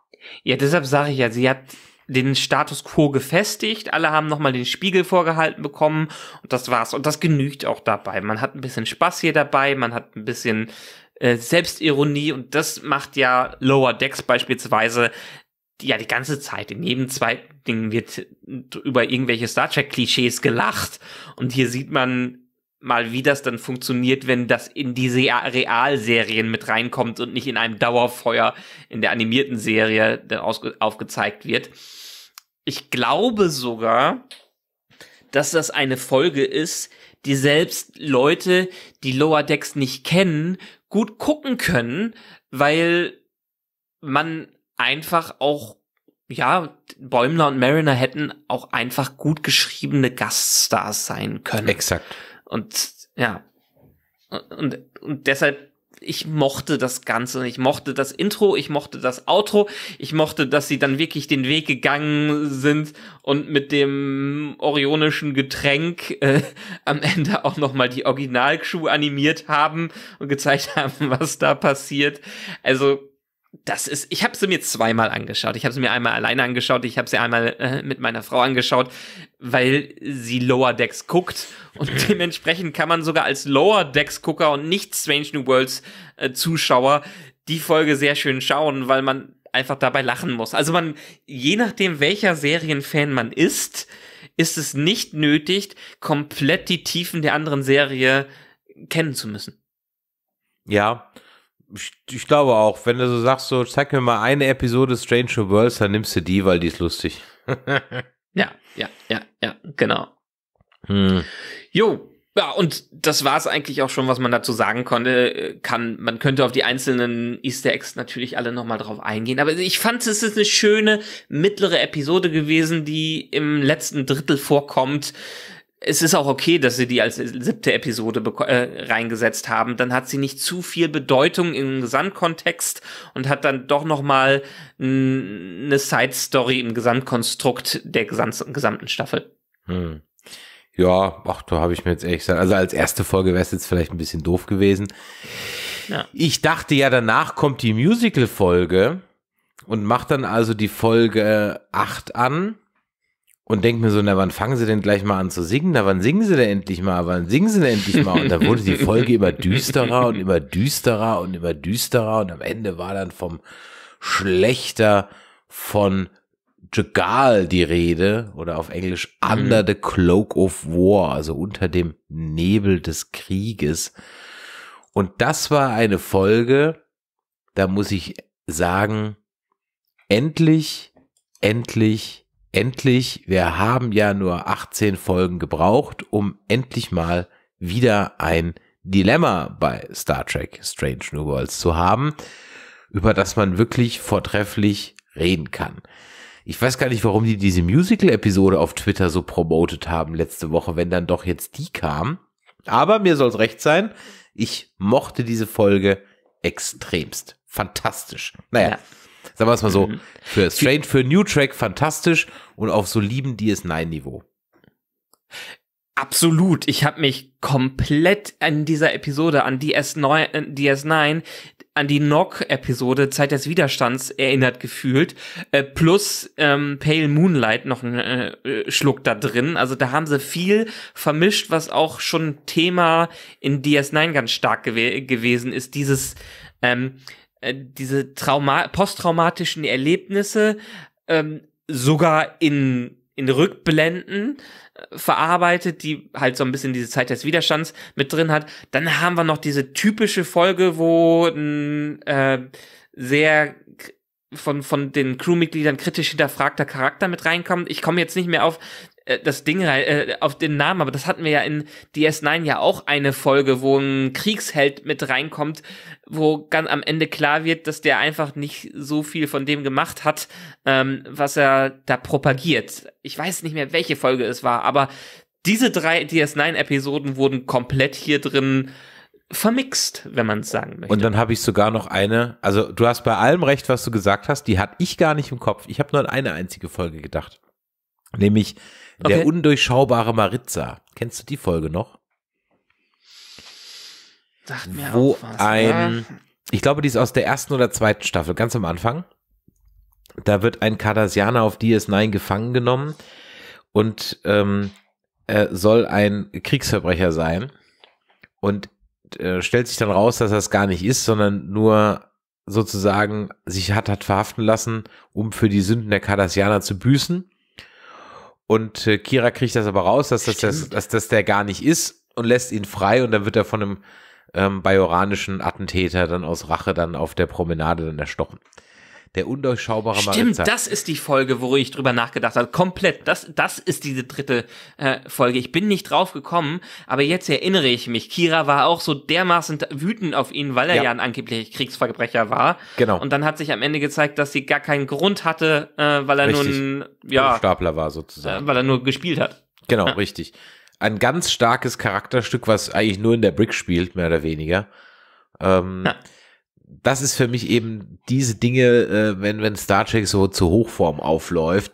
Ähm, ja. Das ist eine ganz tolle Folge, die finde ich wirklich, wirklich super, weil das auch ganz toll gespielt ist von den beiden. Und das hat mich hier ganz stark an das erinnert, im positiven Sinne. Und auch wenn man da jetzt sagt, das war alles schon mal hier, ja, das ist halt einfach eine Folge, die lässt sich so zurück mit dem Grundgedanken, ja, wer hat jetzt recht? Also war der Klingone jetzt wirklich geläutert, hat das nur gespielt? Hat der Mbenga irgendwie recht. Ich fand es auch schön, dass man dem Mbenga nochmal, du erinnerst dich an das Super Serum aus der ersten Folge. Das wurde ja auch ja. so randommäßig reingeworfen. Jetzt hat es zumindest nochmal so eine, so eine Geschichte bekommen. Das fand ich gut. Ja. Ich, ich fand es interessant. Eigentlich hätten wir von Mbenga gar nicht diese ganze Tochtergeschichte haben müssen in der ersten Staffel. Das habe ich mir wir auch gedacht. Wir hätten schon ja. fast, fast, fast nur mit diesem Thema anfangen können, weil dieses dieses Zwie, dieses Zwiegespaltene, was er hat, wo man ihn jetzt auch wirklich als Charakter sieht, der Probleme hat. Und es wurde ja ganz klar angedeutet, dass er wohl jetzt am Ende für den Tod verantwortlich ist und dass er ihn erstochen hat, auch wenn man ein filmisch anderes Mittel gewählt hat, ist es jetzt nicht unbedingt der sympathischste Zug an einem sehr sonst sehr sympathischen Charakter und einem empathischen Charakter vor allem Dingen, den wir mit M. M. Banger bekommen haben. Und ich finde es schön, dass ich mich jetzt so wirklich an alle Namen von dieser Crew erinnern kann, ja, dass ja, wir ja. nicht bei Discovery haben, weil wir uns mit den einzelnen Charakteren beschäftigen. Auch wenn Chapel hier wieder nur ein Nebencharakter war und sie braucht einfach nochmal ihre eigene Folge ohne Spock ohne dass sie sich an irgendeinen anderen Charakter dran, dranhängen muss. Das war eine Banger-Episode und das, wir hatten, finde ich super. Wir haben für jedes Crewmitglied, das wichtig ist, eine Episode und hier sogar eine mit sehr vielen Zwischentönen, die uns auch endlich mal wieder einen Klingonen in echter Form zurückgebracht hat. Und weil die Klingonen sind einfach oft extreme Hochstapler. Ja, Angeber halt, ne? So, ja, genau. Ja, Angeber, kann man, ja. Kann man, kann man, kann man schon so ein bisschen sehen. Bei dem ist ja jetzt die Frage, also man könnte jetzt ja sagen, macht jetzt äh, äh, ähm, Benga die Mörder Agnes und kommt damit jetzt auch durch. Wird er auf Notwehr plädieren? Wird es jemals noch gelöst werden oder bleibt sozusagen die Milchglasscheibe jetzt der Fog of Murder und ähm, wir werden es nie erfahren, ob es Notwehr oder ein kaltblütiger Mord war. Mhm. Also es wird so sein, was es aber durchaus gezeigt hat, was es sehr gut gezeigt hat, das Ganze, ist, äh, wo wir am Anfang auch drüber geredet haben, wie Pike seine Crew führt, wie viel Freiraum er der Crew lässt und was das für Konsequenzen am Ende hat. Mhm. Ja. Ähm, der führt es natürlich ein bisschen sehr, hm, wollen wir freundschaftlich sagen? Ja, kann man durchaus sagen.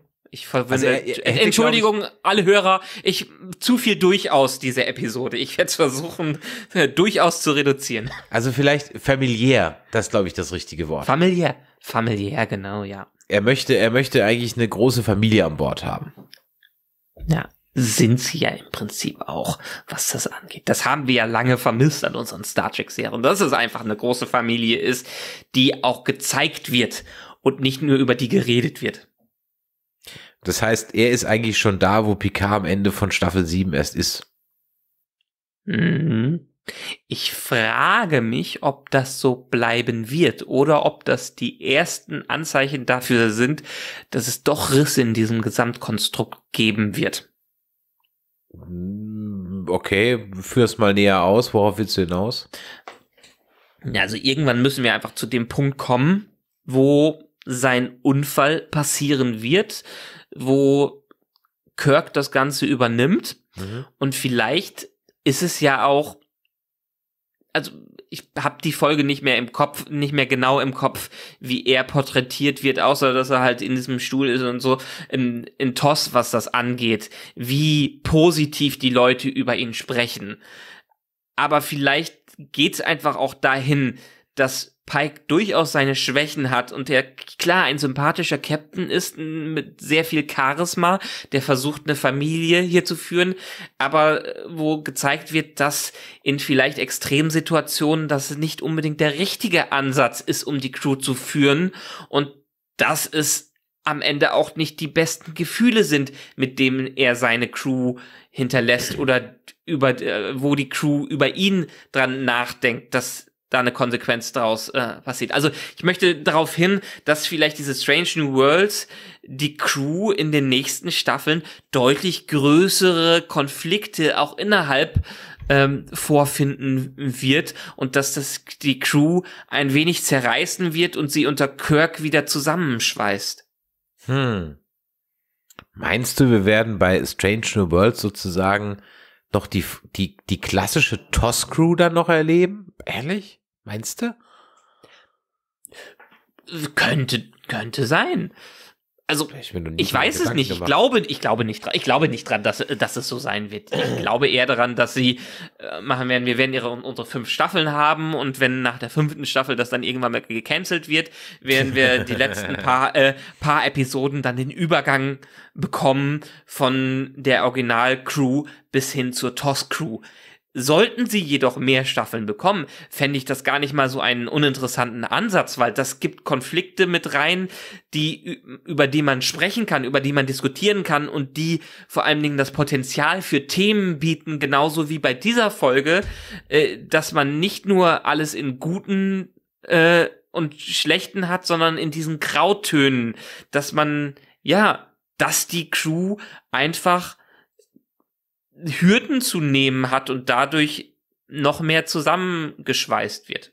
Mhm. Ja, also grundsätzlich bin ich da absolut bei dir. Ich weiß nur nicht, ob das so klappen wird. Also keine Ahnung. Ich bin, nee. gespannt. Wie gesagt, ich glaube, je mehr ich gerade darüber geredet habe, glaube ich nicht, dass äh, Strange New Worlds diese Serie sein wird. Aber sie hätte das Potenzial, diese Serie zu werden. Mhm. Ja, sie hätte das Potenzial schon, aber wie du gesagt hast, wenn die es auf fünf Staffeln bringen, dann war das schon, das wäre schon, also da wäre die schon weit gekommen. Ich glaube fest daran, dass die fünf Staffeln bekommen Echt? werden. Fünf also die werden, meiner Meinung nach wird diese Serie nicht so aus dem Nichts gecancelt werden. Ähm, weil sie deutlich verträglicher, leichter verträglich ist als so eine Discovery, die diesen riesen Story-Arc hat. Man kann die nutzen, um in einzelne Episoden reinzuschauen. Wir haben, wie wir es so oft sagen, eine Crew, an die man sich erinnert, auch namentlich erinnert und die noch viel Potenzial hat und wo man einfach Spaß hat zwischendurch das auch zu gucken. Also es gibt eine eine Varianz in den Episoden, äh, die einen so ein bisschen auch an der Stange hält oder die das äh, die dazu führt, dass man nicht jede Episode mitgucken muss. Noch besser, was das angeht. Man muss nicht die ganze Zeit dabei sein, um die Serie noch zu verstehen. Und das ist meiner Meinung nach die große Stärke von Strange New Worlds, dass sie keine Binge-Show ist, die man in eins durchgucken mhm. muss, sondern in die man nach ein paar Jahren auch noch mal reingucken kann. Mhm. mhm. Ja, da hast du, da hast du absolut recht. Ja. Wollen wir noch. Und ja. um es abzuschließen, Disco ist vorbei, Picard ist vorbei, vielleicht in irgendeiner Form kommt es dazu. Äh, die ganzen anderen Spin-off-Serien sind irgendwie so ein bisschen auf Eis, was, was das angeht. Die einzigen, die gerade noch so ein bisschen am Überleben, das Franchise am Überleben halten, sind Strange New Worlds und Lower Decks. Und die sind deutlich erfolgreicher, soweit ich das sehe, als die anderen Serien und wahrscheinlich dadurch also ich glaube, Strange Universe ist ein ganzes Stück günstiger als Discovery, was das ist. Und Lower Decks kann man sowieso relativ günstig produzieren. Da muss man nur ein paar Abstriche in den Animationen, in dem Animationsstil äh, mit akzeptieren, aber die sind nicht so teuer wie der ganze Rest. Hm. Da fällt mir übrigens ein, ich hatte bei Twitter gefragt, ob es irgendeinen Grund gibt, warum eigentlich der Pike in seiner eigenen Show nur noch eine Randfigur gibt. Und hat sich herausgestellt, den gibt's. Äh, der ist nämlich Vater geworden und hat darum gebeten, äh, nicht mehr ganz so oft filmen zu müssen in dieser Staffel. Ah, interessant. Ja, es hat sich so ein bisschen auch als Vorteil herausgestellt, ne? Ja, so ein bisschen. Äh, jetzt, wo man es weiß, wie gesagt, es, es, hat, es kam mir schon die ganze Zeit so komisch vor, warum ist der so selten und steht nur in der Küche rum und macht irgendwie überhaupt nichts. Mm. Und ja, es hatte dann in der Tat produktionstechnische respektive private Gründe. Mm. Aber es wurde nicht gesagt, ob er in Staffel 3 nochmal mehr dabei sein wird oder ob er wieder äh, da kenne ich jetzt die amerikanischen Gesetze zum Thema Elternzeit nicht. Also keine Ahnung. Es gibt keine, es gibt keine Elternzeit. Wenn du Kohle hast, hast du Elternzeit, aber das war's auch am Ende. Äh, Habe ich nicht auch gelesen, dass sie die dritte Staffel jetzt unterbrechen mussten wegen den Writers und Actors Strike? Hm, das weiß ich nicht, aber es wird zu 100 Prozent wird das so sein. Irgendjemand durfte ja, wurde ja auch von der, bei irgendeiner Comic-Con, glaube ich, von der Bühne zitiert oder hat danach noch Ärger gekriegt, weil er zu viel Promotion gesagt hat, weil er zweimal irgendeine Serie erwähnt hat, die noch nicht fertig ist. Oder irgend so Quatsch. Mm. Also, ja. Das ist alles etwas, also völlig verständlich, aber schon in manchen Teilen ein bisschen grotesk. Aber gut, es, äh, mhm. es ist wie es, es ist wie es ist. Wollen wir dann noch ein bisschen über das moralische Dilemma der Folge reden? Gerne, gerne. Also, Team Benga oder Team Klingone?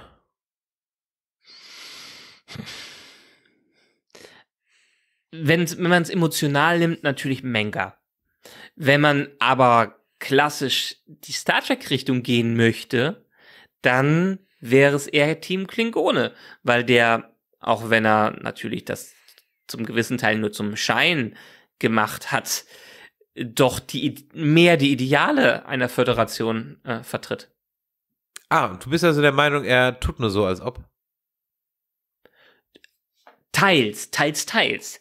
Also ich glaube schon, dass er ein paar Sachen aus dem Krieg wieder gut machen möchte, aber ganz deutlich sieht man ja daran, der große Twist der Episode, dass Manga der Schlechter von Jugal am Ende war, äh, dass er ja die Gelegenheit am Schopf ergriffen hat und sich dementsprechend gut verkauft hat, was das an, was das angeht. Und er gefällt sich in seiner Rolle ähm, des, ja, äh, des Schlichters, was das angeht. Das sieht man ja in, sein, in seiner gesamten Habe, die er so von sich gibt, wie er, wie stolz er ist, von den, seine Geschi verschiedenen Geschichten rauszuhauen und wie stolz er darauf ist, dass er diesen Schritt tun musste und dass er nicht der klingonischste Klingone ist, sondern eine offenere Welt erreichen möchte. Der hat sich komplett in seine Rolle reingelebt und ich kann mir nicht vorstellen, ich kann mir vorstellen, dass er durch dieses Schauspielern auch mehr daran glaubt. Man weiß ja, je mehr man sich in etwas reinsteigt, je mehr glaubt man auch dran, die ganzen Verschwörungstheoretiker. Aber im Kern weiß er ganz klar, dass er ein Hochstapler ist und dass er einfach nur Scheiße gebaut hat. Also ganz kaufe ich ihm die Nummer auch nicht ab. Er war halt so, wie die Vulkanier in der letzten Folge, so unvulkanisch war er natürlich auch sehr unklingonisch. Ja. Teils, auch hier, auch hier wieder, wieder würde ich teils, teils sagen, wenn man so einen Martok und ähm, ähnliche Leute mit reinnimmt, die haben, die, wie du es eben gesagt hast, die hatten schon eine ganz deutlich angeberische Art damit drin. Und dieses Angeberische hat er ja an jeder Ecke raushängen lassen, natürlich mit dem gönnerischen Einschlag. Ja, gönnerisch, das ist gut, genau. Er hat so ein gönnerisches, gönnerisches gehabt.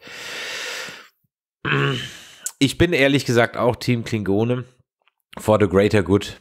Ähm, und ja. äh, da hat er an der Stelle einfach einen Punkt.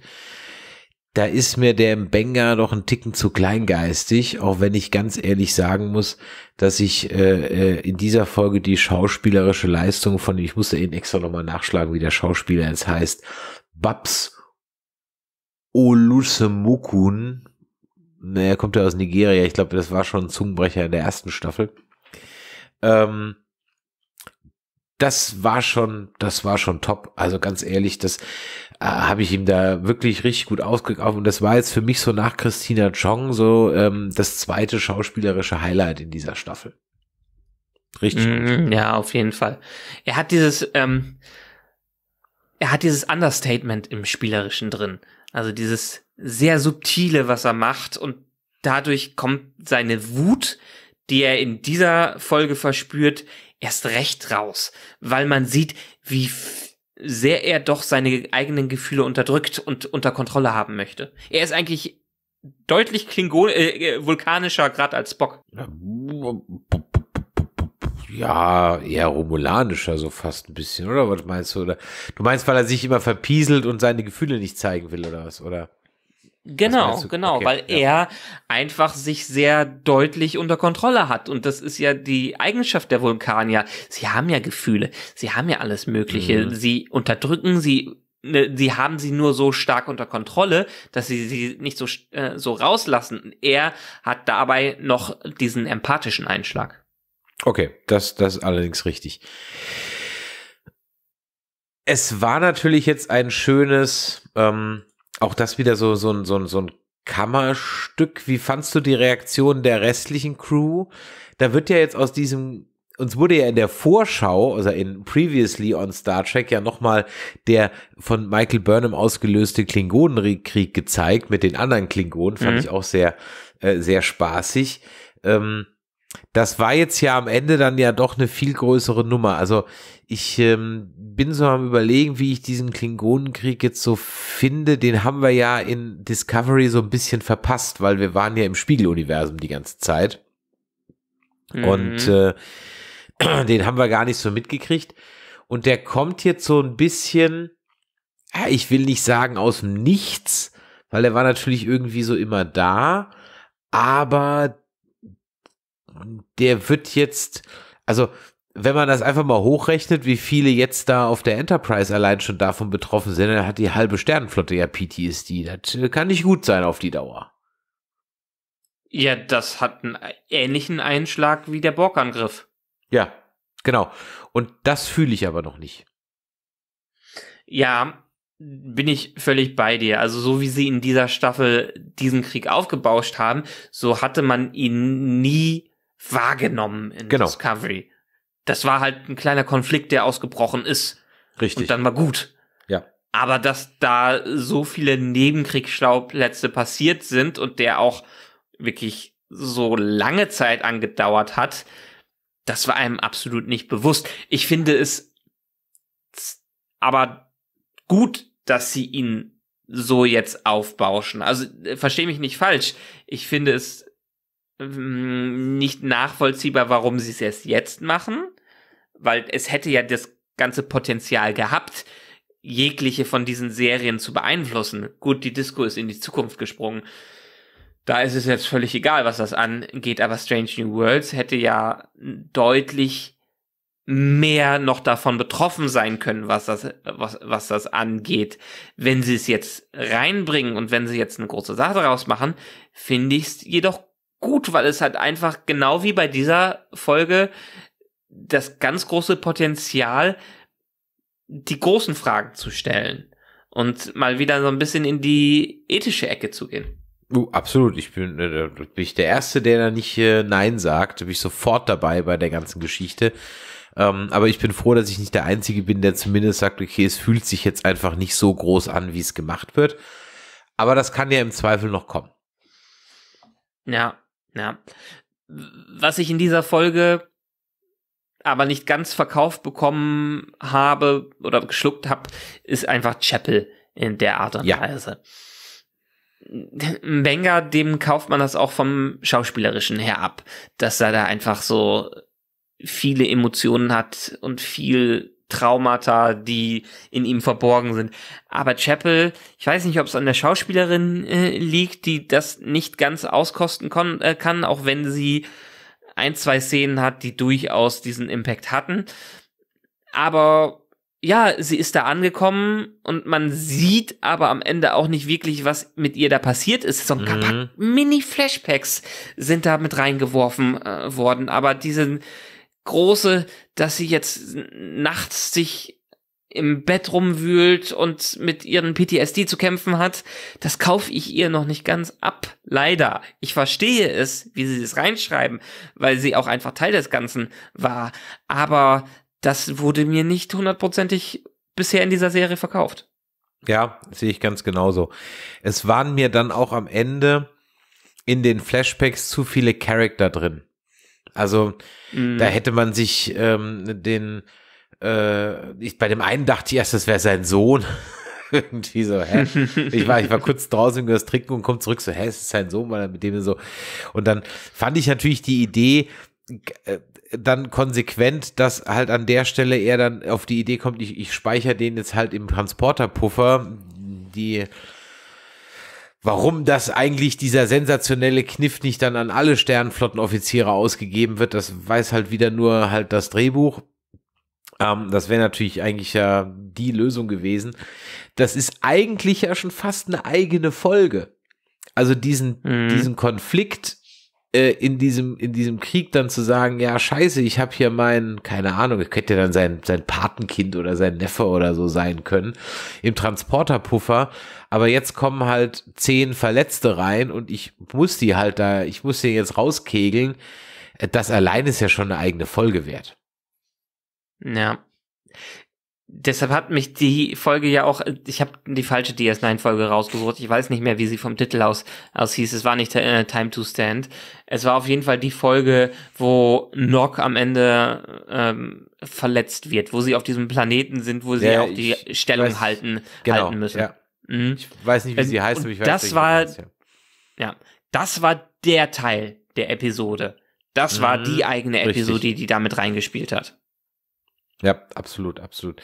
Also von daher war es Irgendwie mir die Schrecken des Krieges oder so. irgendwie sowas, ja. Also wie Ja. gesagt, wenn ich was kritisieren möchte, dann, dass dieses dieses moralische Dilemma allein ein ein, eine Folge wert gewesen wäre.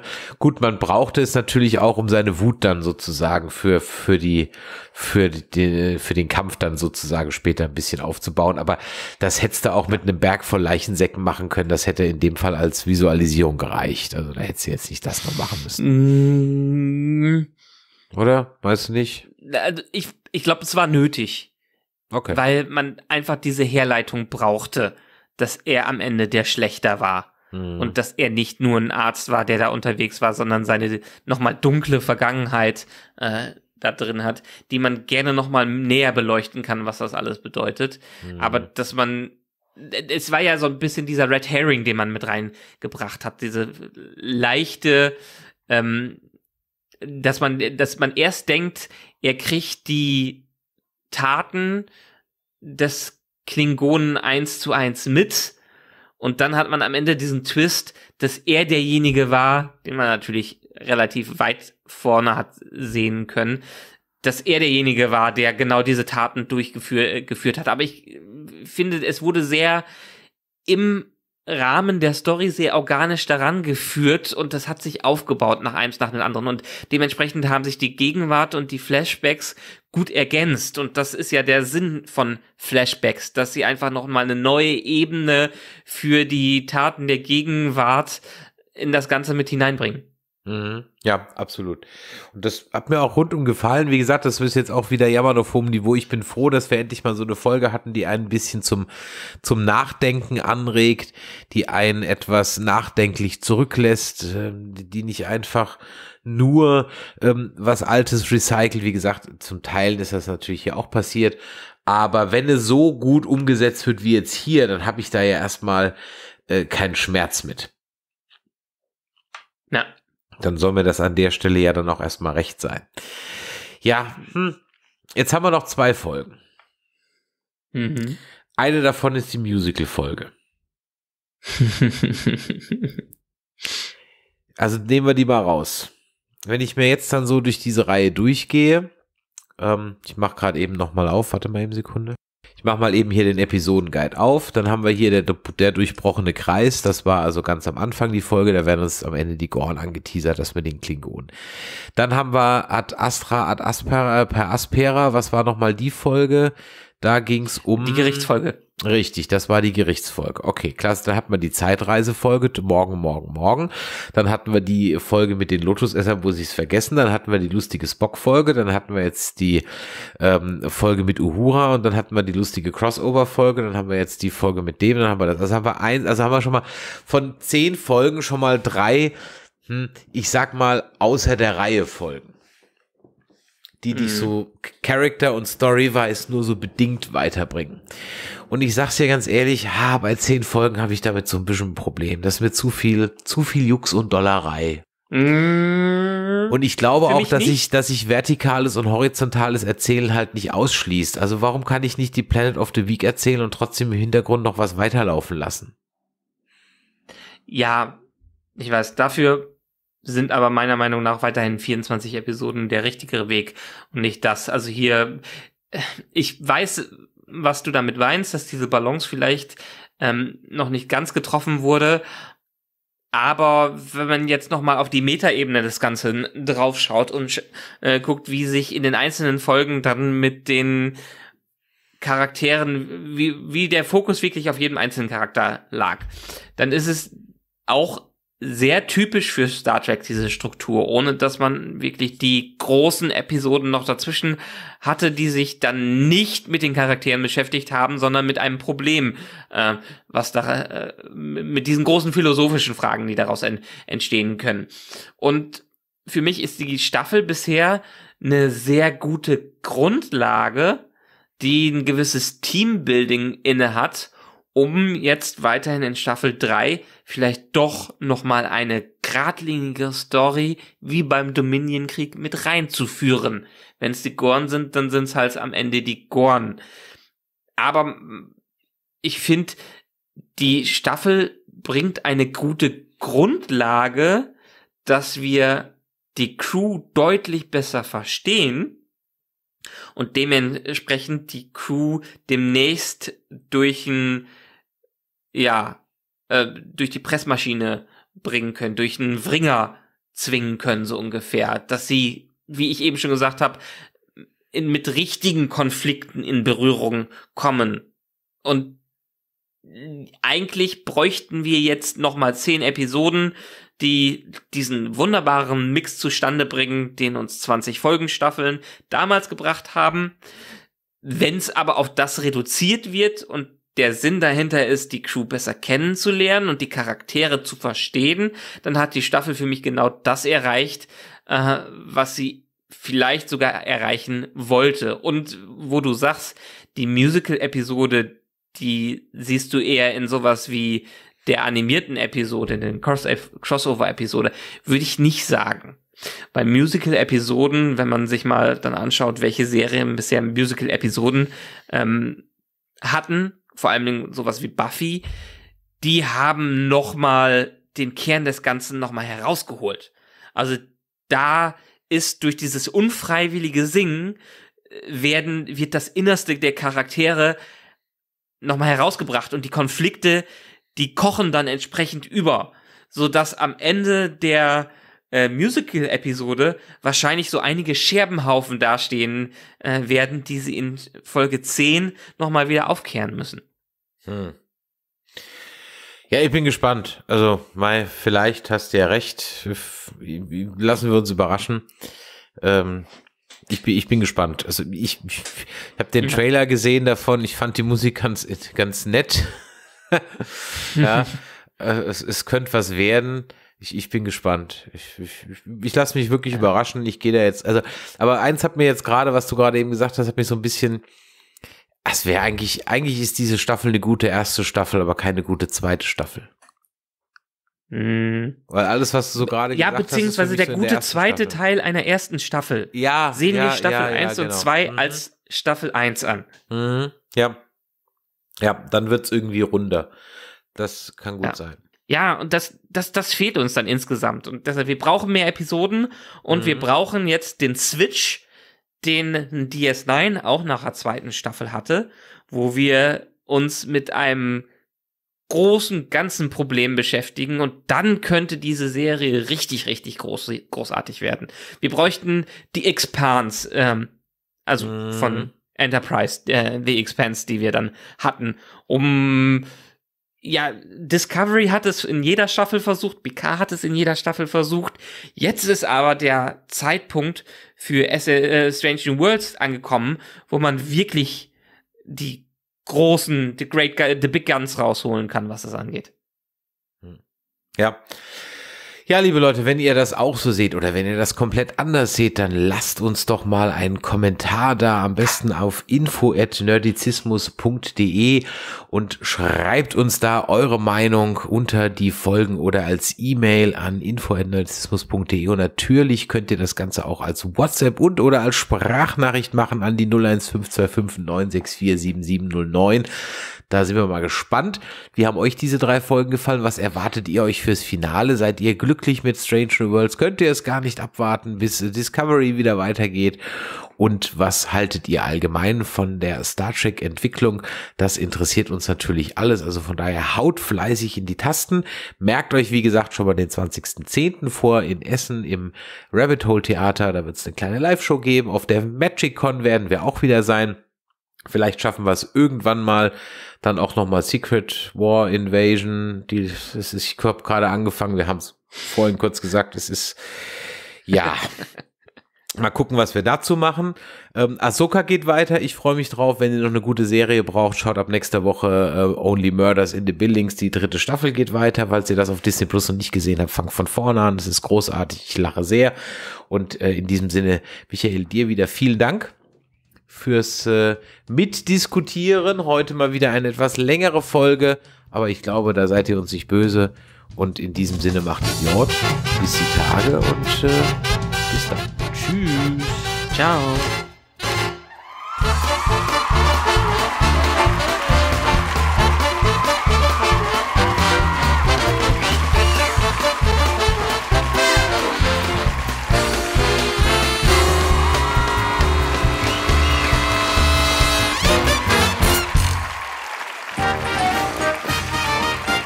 Eine Produktion des Podcast Imperiums.